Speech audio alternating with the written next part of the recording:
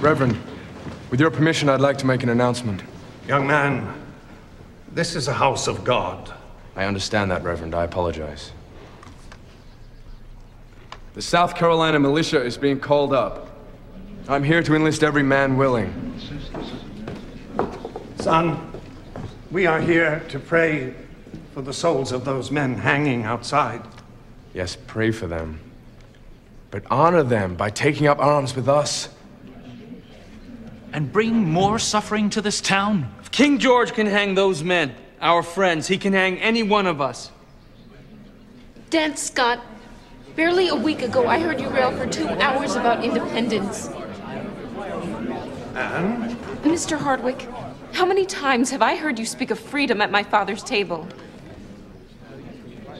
Half the men in this church, including you, Father, and you, Reverend, are as ardent patriots as I.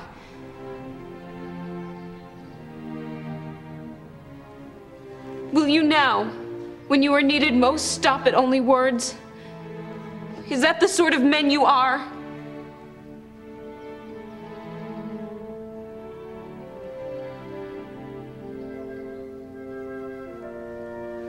I ask only that you act upon the beliefs of which you have so strongly spoken and in which you so strongly believe. That our faith should not be just inside us, it should be coming out of us so that the world can see the faith that we profess is real, it is live, it is active, it is life changing kind of faith. The truth for this morning is this that when I engage His Word better, then I will engage my world better. Now, think about that for a minute. If I engage God's Word better, I'm going to engage my world better. Now, you can start from the other way and, and start asking questions. You know, I, I need better relationships. I wish I had a better job situation, a better relational situation, a better family situation. I wish I had a better friendship. I wish things could be better in all of these other kinds of areas. I wish my world would simply be better. And let me tell you, the truth today is this you'll be able to engage your world better if we will start engaging His Word better. This is the truth for today. So join me in James chapter 1. James chapter 1, we're going to look at verses 19 and following this morning. My dear brothers and sisters, understand this.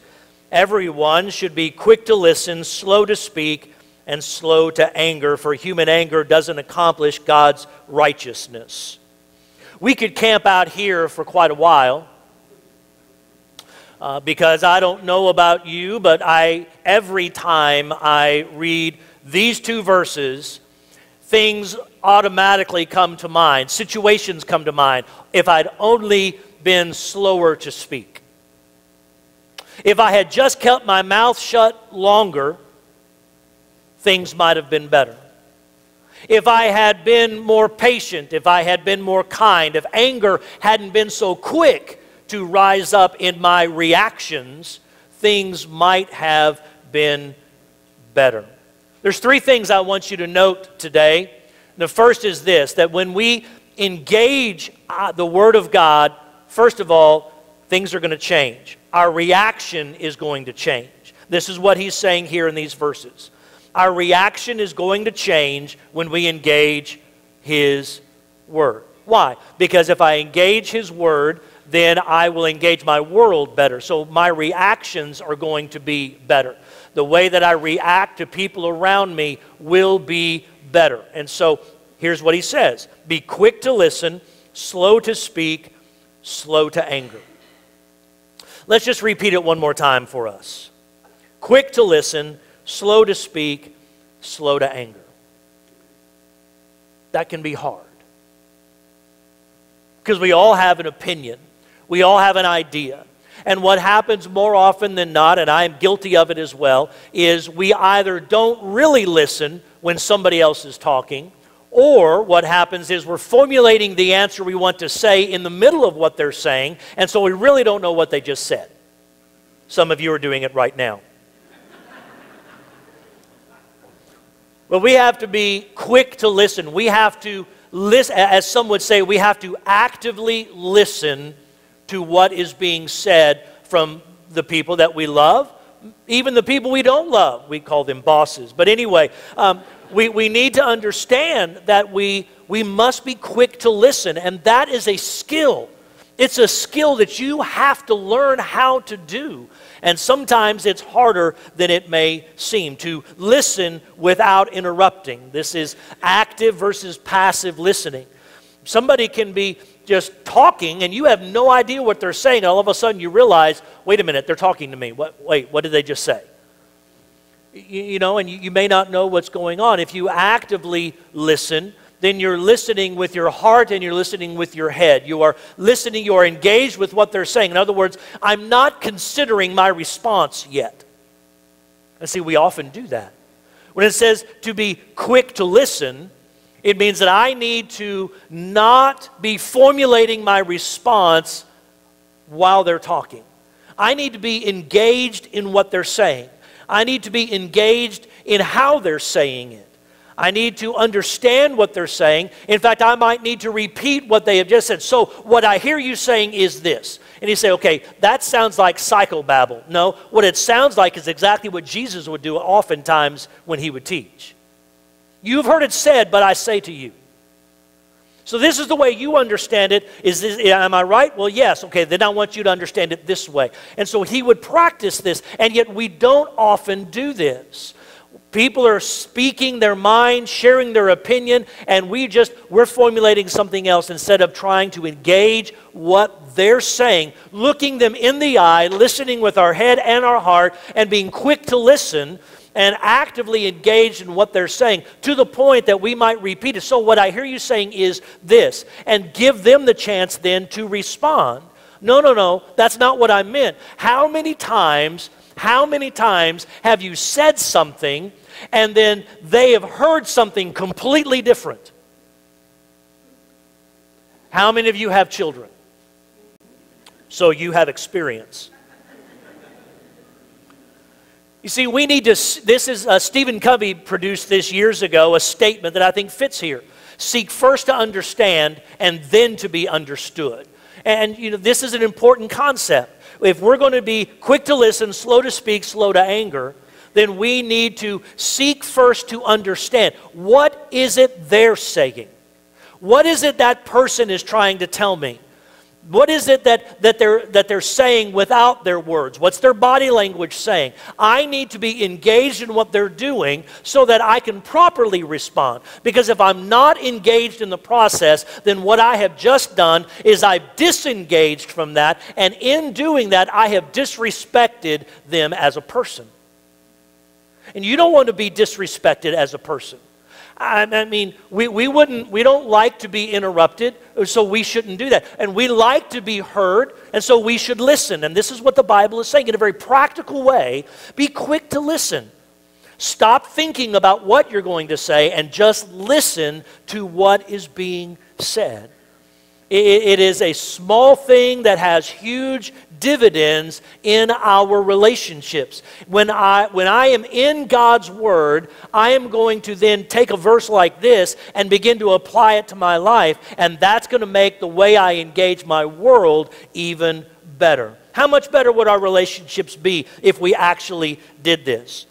Compassion would rise from the ashes of apathy, and we would have character rising from the ashes of instability. Because when I engage God's Word, I engage my world better. And that, that is something that we don't always understand. We, we think, well, we have the Bible, and that's great, but then I have life to live. And what we need to understand is God's Word is not just for my quiet moment, God's Word is there for my life in the quiet moments and in the messy moments. My, God's Word is there for us in all aspects of our life, not just for church, but for everyday living. And this is one of those moments where James gets really practical and says, Guys, you have got to learn how to listen without interrupting because we need to engage what's going on, engage God's word, engage those around us. The whole theme today is engagement, to be engaged in what is going on. And if you're not engaged, then all kinds of things can happen and problems can rise. So the first thing is going to happen is this when I'm in God's Word, my reaction is going to change. So be quick to listen, slow to speak, slow to anger. For human anger doesn't accomplish God's righteousness. Therefore, ridding yourselves of all moral filth and the evil that is so prevalent, humbly receive the implanted word which is able to save your souls. So we need to be quick to listen, slow to speak, slow to anger, ridding ourselves of this moral filth. When I'm in God's word, then I'm going to engage my world better. And this is what we see here that we're ridding ourselves of these things. We're living without this sense of immorality. How much better would our relationships be if we would rid ourselves of all moral filth and the evil that is so prevalent, humbly receiving the implanted word which is able to save your soul? You see, we understand that I give my life to God and I make a decision of faith to say, Yes, I believe that I'm a sinner. My life is completely broken. It's wrecked. I'm dead in my trespasses. But thanks be to God that in the midst of all of that, God, you gave Jesus to die on the cross for me so that my sins could be forgiven and that my life could be changed. So, God, here's what I'm, I, I do in response to that truth I'm going to give you everything, which absolutely is nothing. But I'm going to give you everything of me. I'm going to turn my life over to you. And in, in, in, doing that, you take a hold, you take control, you have everything, you have it. Do with it what you want. I'm not holding back any portion of control. I'm going to give that all over to you. When we are doing that, then we understand that faith has has made us new, has changed us, has created us into a, a brand new person. But as you're going to learn tonight in, in our session tonight, you're going to learn about what to do then and the process and the journey that goes on. And we'll, we'll see that at 5 o'clock. But for right now, what we need to understand is that we need to be receiving God's word in our life. It's not a one time, one moment in history. Hey, I understood faith. I understood God's word. That's great. Now I'm saved. Now, now it's over. It's not over. It begins at that moment. It begins right then. And we start a journey and we start a process. And what James is saying is we need to continually be receiving this word from God, this message from God, this, eh, this indwelling of God, and let it change our lives so that our reactions will change, that we would be more humble and have humility rising up in our lives. Unlike this individual, this young woman came to meet with the pastor and she said, Pastor, I ha- I've got a real problem and, and I've got this sin and, and I'm very worried about it. And she said, Okay, I've become aware of this sin in my life and I cannot control it every time I'm at church, I look around and I begin to look at other women and I begin to look at, at them and, and I realize that I'm just the prettiest one in the whole congregation and none of the other women can compare to my beauty. What am I going to do about this sin? The pastor leaned back in his chair and he said, Well, I hate to tell you, that's not a sin, that's just a mistake. she had a pride issue and it was causing her problems. Can you imagine how everybody else was feeling? Because you can't keep that kind of stuff to yourself. You see, when we engage in God's Word, we can engage our world better. And it begins with how our reactions change. But he goes on and he talks about how our recall is going to change. Look at this, verse 22. But be doers of the word and not hearers only, deceiving yourselves. Now, look, because if anyone is a hearer of the word and not a doer, he's like someone looking at his own face in a mirror for he looks at himself, goes away, immediately forgets what kind of person he was. But the one who looks intently into the perfect law of freedom and perseveres in it and is not forgetful, but a doer who works, this person will be blessed in what he does. So our reaction is going to change. Quick to listen, slow to speak, slow to anger, cleansing our lives. But also, the second thing that's going to happen is our recall is going to change. He says, you know, what happens sometimes is like a, you go to the mirror and you look at yourself and you walk away, you don't you forget what you look like. Now, that doesn't happen in our generation today because we have 42,000 selfies on our phone and we all know what we look like. But back in the day, that didn't happen, and, and the mirrors really weren't as clean and clear as you might have it today. And so they'd walk away and they wouldn't, they, they you know, you, okay, what, I don't know. You, you know, if, I don't know. I, I, know what other people look like. I don't know what, I, I don't know. And so they would go away, and he's, he's equating that to how many of us treat God's Word. That we will read it, and in fact, you may be an early riser or you may be a late night uh, person, and you'll read it, but two hours, four hours, six hours from then, if somebody were to say, Hey, what'd you read in the Bible today? Could you recall it? Be- because it's easy for us. We read it, but we don't engage it.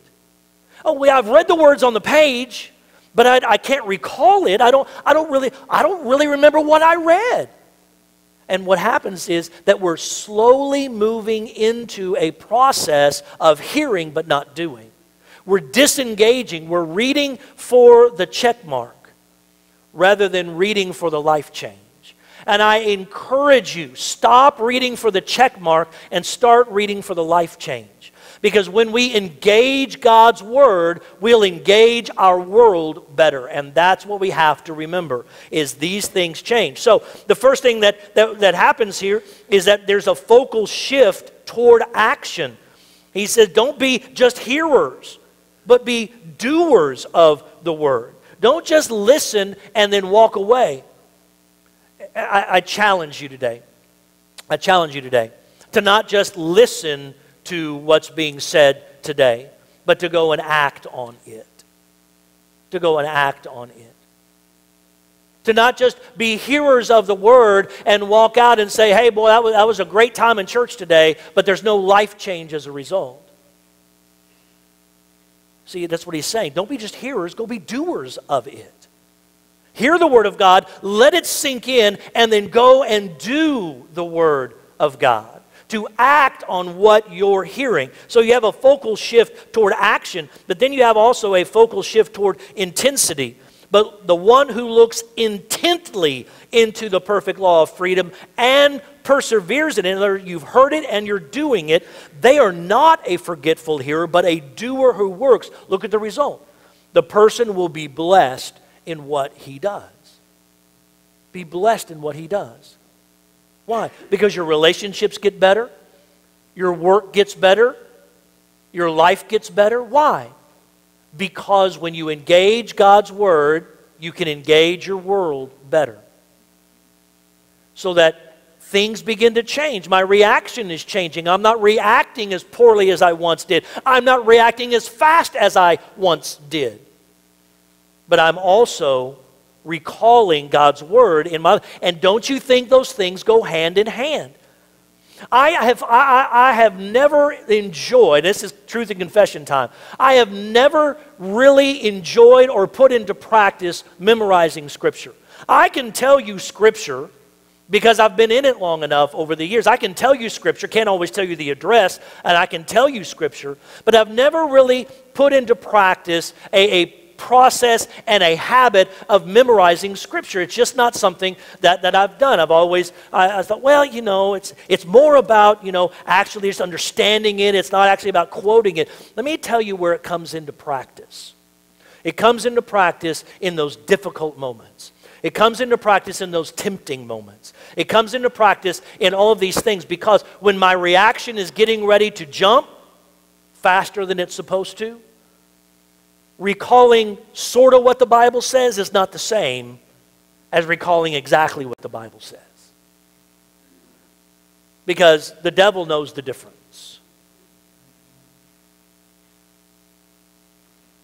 And he reacts poorly to the actual Word of God, not my thoughts on the Word of God. And it, it's a process that we use, and it's a focal shift of intently. If, I, if I'm looking into it with intention and intentionality, and I'm focusing on it, I will be blessed in what I do. So, two things that we've learned already that if I'm in God's Word, my reaction is going to change, and also my recall is going to change. But third, and this is where it gets sticky, my religion is going to change. My religion's going to change. Now, it doesn't mean that you're going to quit the Baptist and go over to the Christian. It doesn't mean that you're going to quit one thing and go to another. That's, that's not the point. But the point is that we'll get back to what Jesus had in mind that, ha- that is more relationship based and it is love and it's compassion more than the, than the rule of law because that's what the Pharisees were doing. They were doing the rule of law. They've lo- they had lost sight of everything. And Jesus would come. And Matthew 5, 6, and 7. You've heard it said, but I say to you. You've heard it said that this is how you should act, but I'm telling you this is how you should act. And he's bringing back in this hearer doer mentality. And he's bringing back in, don't just look at the letter of the law, look at the spirit of the law behind it. It's not just about, well, if you don't physically murder somebody, then you're okay. He's like, no, if you, if, if you even look at somebody with hatred and anger, it's the same thing. And he begins to expand the process and expand the understanding. And so when you look at verse 26 and 7, if anyone thinks he's religious without controlling his tongue, his religion is useless and he deceives himself. Now, James is just really getting difficult to deal with here, isn't he? I mean, come on, dude. Can you not give us a break somewhere in these verses? I mean, you've already told me I have to stop talking and listen. Now you're telling me I have to control what I say. Yeah, we do. Because it's not about us, it's about God. And it's, it's about am I living out the name of God through my life? Am I carrying the name appropriately? If anyone thinks he's religious, you, man, you think you're okay, but you can't control your tongue, you got a problem. And sometimes in our lives, we remove filters that need to be put back into place. Sometimes we remove them because of circumstances we've gone through, like, hey, when you've gone through what I've gone through, you can say what you want to say, not according to the Word of God. Well, when you get to the age I am, I can just say whatever I want to say. No, you can't. Well, you know, when I get older, I'll control it. No, start now. Sometimes filters leave us and we forget to put them back into place. You know what happens if you take a filter out of your air conditioning system and never put a filter back in place? Well, the inside the machine is a thing called an A coil, and that's where you've got all of the heating and cooling system that, that goes on, and, and air blows over that. Well, the filter is in place so that all the dust and debris that is in your house that comes up stops at the filter and doesn't wreak havoc on your system. But if you take the filter out and all that stuff is coming up, then you're going to have a problem inside the system, and it's going to cost you a lot more than you thought a few filters were going to cost you. And so, even though it, it seems like a, you know, sometimes we can get conspiracy theories going all the time, can't we? Well, those air conditioner guys just, you know, they're in cahoots with the filter people. They just want me to buy filters every month because they're, they've got a thing going in their unions and they're all related. And somehow they're getting a kickback from the filter company. You laugh because you thought it. But if you don't put that in there and all this, this dust and grime doesn't seem like much in, in, the, in the first month or the first two months, and you might even go a few months, but over the course of time, the whole system's going to break down when a $2 filter could have saved you a lot of time, trouble, money, and heartache. The same goes with your mouth. Sometimes we forget to put filters on our mouth. Some of us need a muzzle. Some of you can get by with the filter. Some of you need some duct tape and baling wire.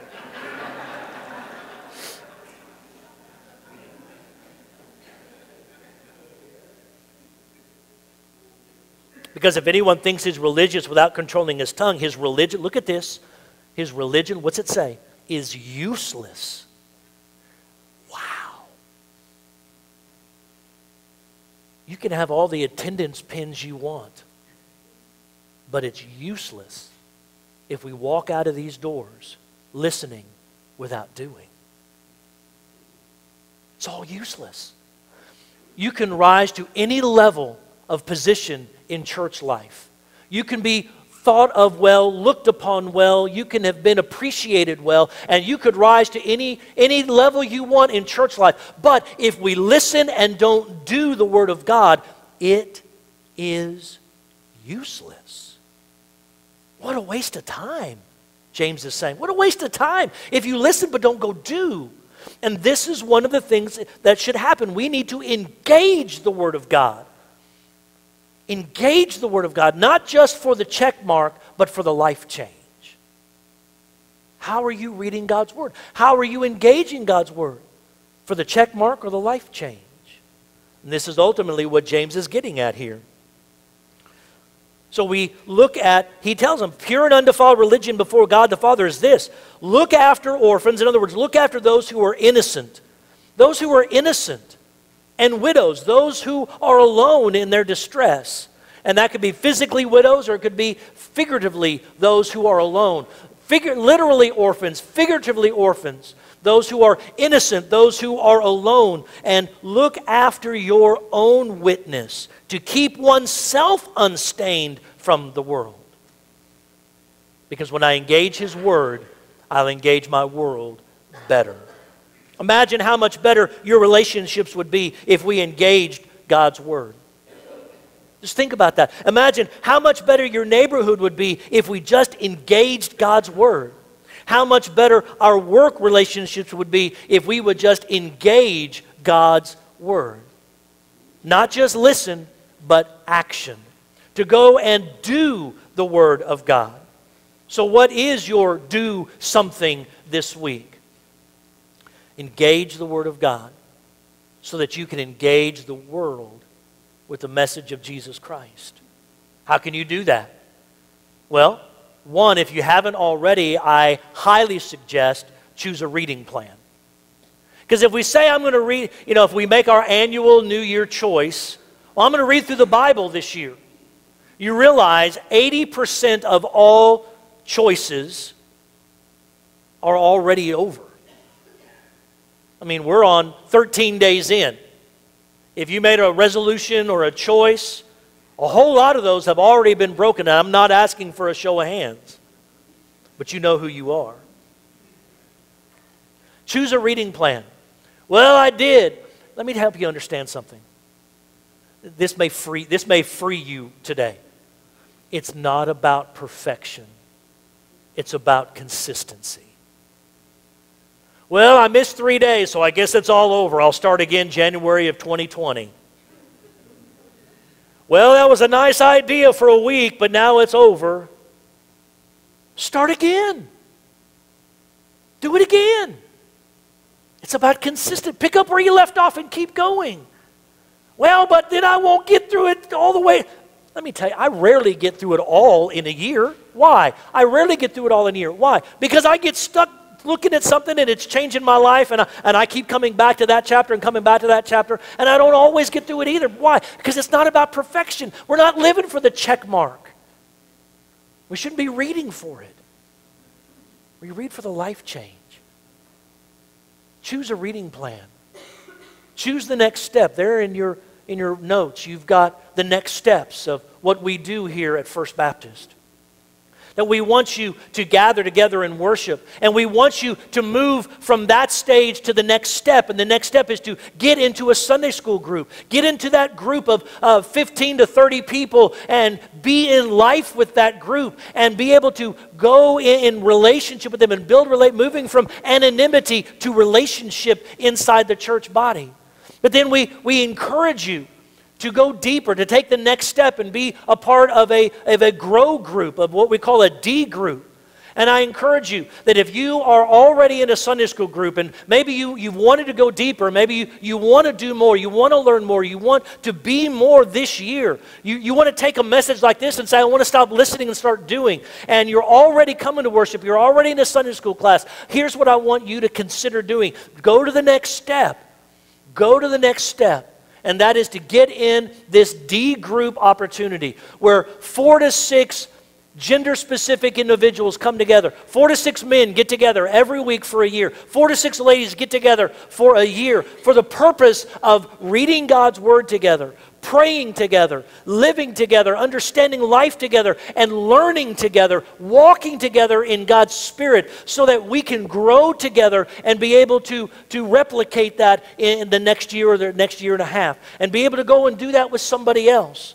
It's not about how much you know, it's about who you know. And when we get in God's Word and we engage God's Word, God's going to change us and rearrange us and make us new and fresh and ready to go as we go and do God's Word. It's not enough to just say, hey, I love the Great Commission. We want you to be a part of the Great Commission and that is that you have heard the word of faith. You have, word the, you've heard the understanding of the gospel of Jesus Christ. You have, many of you have responded to that. You've gathered together and you're in Sunday school groups. But let's go further and get intentional into God's word together. If that's something that you want to do, I, I encourage you, take one, take one of the cards or tear off a portion of your bulletin and put your name on it and say, Yes, I want to be a part of a group like that. Put it in the offering plate later on and we will gather those names up and we'll, we'll get you a guide. It's going to start at the beginning of next month. If you want to do that, or maybe you've been approached by one of our, our guides already, and you, you're on the, I don't know if I want to, if I don't want to, man, I don't know if I can commit to, to every week.